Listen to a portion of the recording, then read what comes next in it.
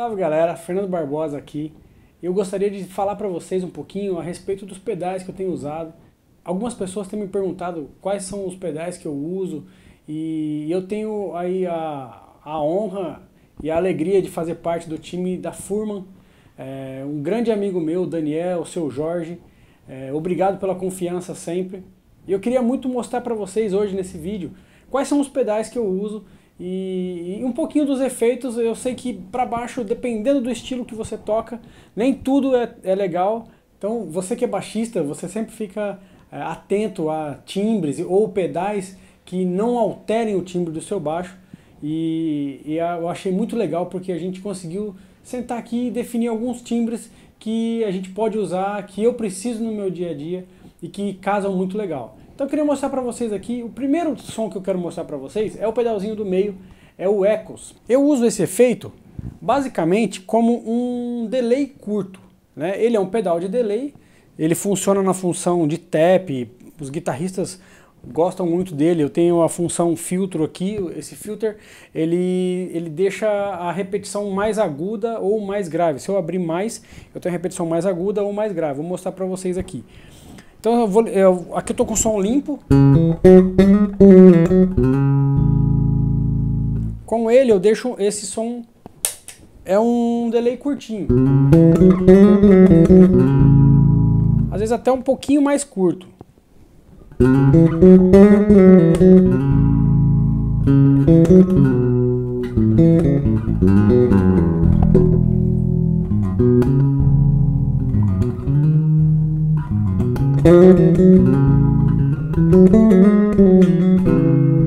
Gosto muito desse som, eu acho bem legal para alguns tipos de, de som que eu faço visando o meu trabalho solo, algumas coisas que eu trabalho, eu gosto muito de aplicar é, na construção de algumas melodias, eu acho isso, esse timbre muito legal. Mas ele funciona como um pedal é, de delay, então se eu se eu quiser explorar ele, eu posso trabalhar aqui. Eu estou usando ele é, pelo, no, nessa chave do modulation aqui. Eu tenho o é, ele, ele dessa forma digital, né? Ele não oscila muito. O legal do modulation é que ele dá uma distorcidinha, né? Dá essa oscilada.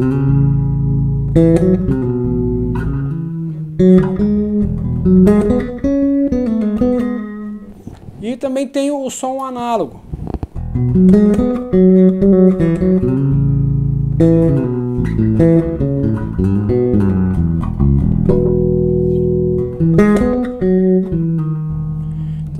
Usasse um pouco mais de feedback, dá para sentir melhor esses efeitos.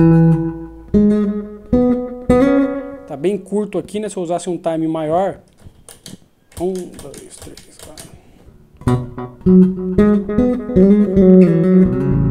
Aí funciona como um delay comum, modulado.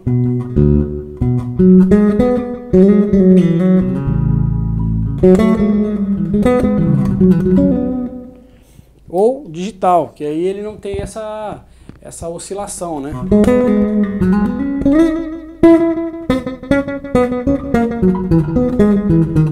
Posso deixar ele mais longo.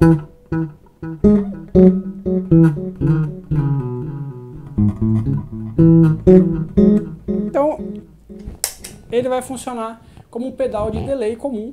Então, para mim, eu uso ele com essa repetição bem curtinha, ele funcionando quase como um efeito de simulação de um fretless, né, para eu ter um pouquinho mais de expressão na, em algumas melodias que eu vou fazer. Além dele, além desse pedal, eu também uso o reverb. Eu gosto demais desse pedal. Vou mostrar para vocês.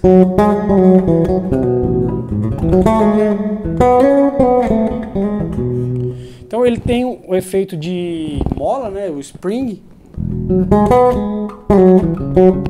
Pôr um pouquinho mais de, de, de volume. Dá para sentir legal, né, os timbres.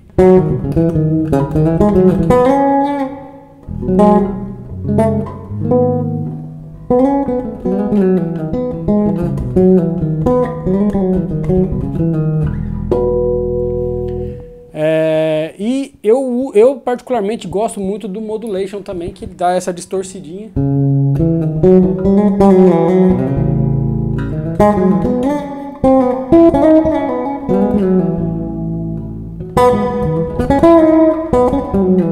Então eu posso deixar essa sobra com esse brilho mais é, com esse agudinho, né? Ou eu posso, se eu abrir mais o filtro, ele funciona ao contrário. Quanto mais eu abro, mais escuro fica essa sobra, né? Percebe? Ó.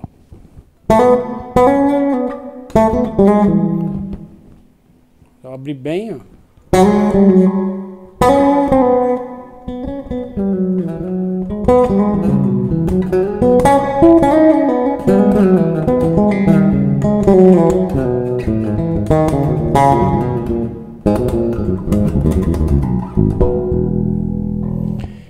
Certo? Então eu, ele também tem a função shimmer, shimmer, não sei como falo isso, é um nome gringo. A, a, os guitarristas usam muito esse efeito, né, que tem, ele vai duplicando essas oitavas, né?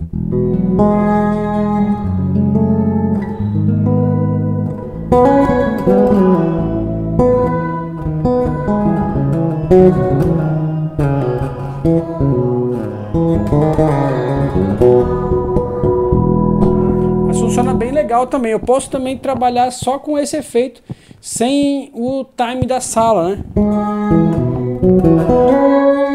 Funciona quase que como um oitavador. Eu teria esse time. Posso aumentar o volume dele, ó.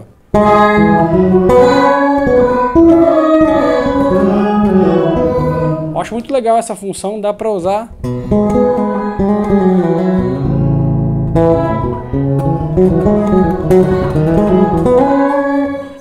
É, tem um atrasinho normal, mas eu gosto muito da função de, do modulation. Uso muito é, nessa posição aqui.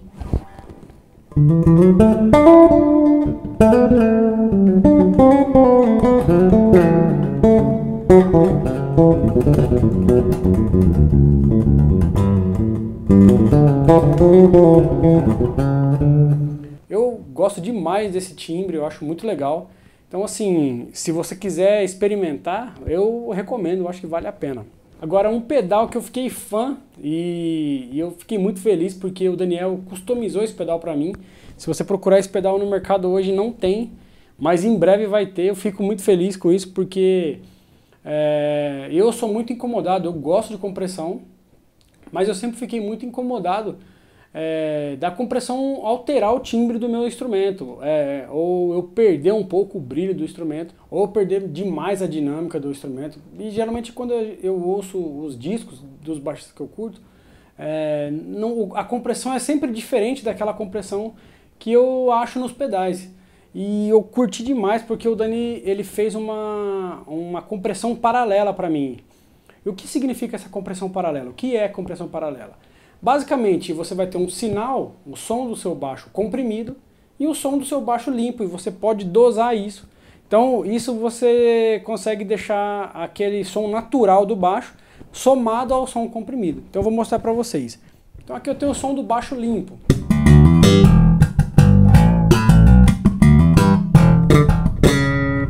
Certo?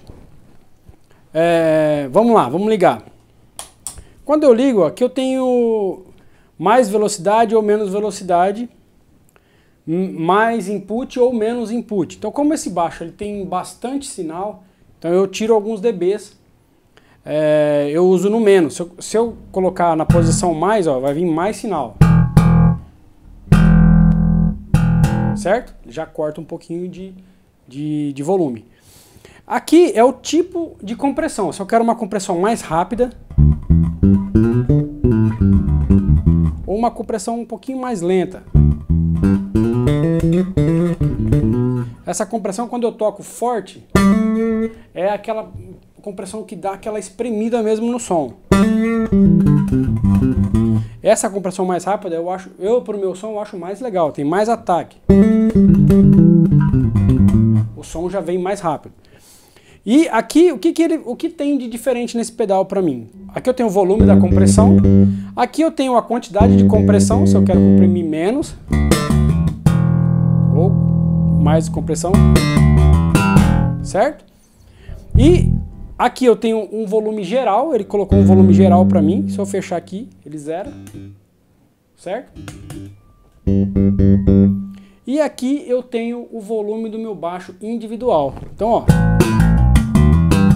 Então o som comprimido tá legal. Se eu desligar, ó, esse é o som do meu baixo. Eu já gosto do som do meu baixo limpo. Então comprimido, ele tem... Então quando eu comprimo, às vezes eu acabo matando algumas frequências que eu curtia quando ele estava cru. Então esse é o som limpo. Esse é o som comprimido.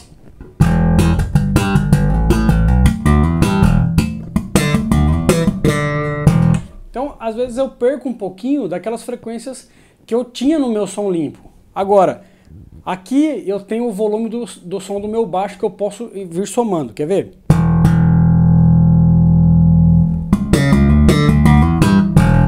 Então, eu posso somar o, o som do baixo com o som comprimido.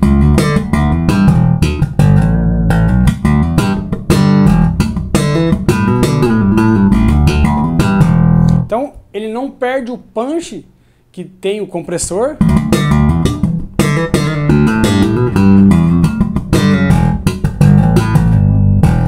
E ele não perde o brilho e o som que eu já tinha é, no baixo limpo, né? Então eu vou desligar ó, o som do baixo cru. O som do baixo com a compressão paralela.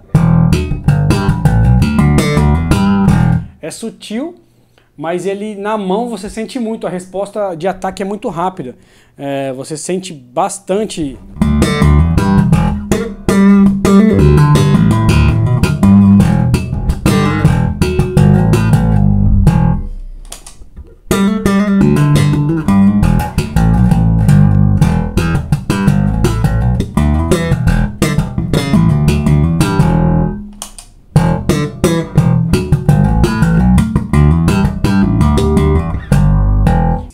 abaixar o volume do baixo é, que estava limpo, olha a diferença dele só comprimido.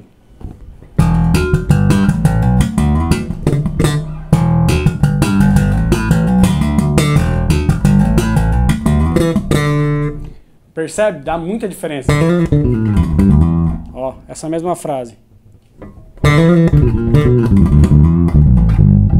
Então eu vou ter o som do baixo limpo com o som do baixo comprimido é, ao mesmo tempo. E eu achei isso maravilhoso. Então espero que você tenha curtido esse vídeo. Foi além de um review, uma amostra dos pedais que eu uso. Quero agradecer imensamente ao Daniel Furman, ao seu Jorge Furman e toda a equipe da Furman pela confiança e pela amizade. Tamo junto, galera, e vamos quebrar tudo!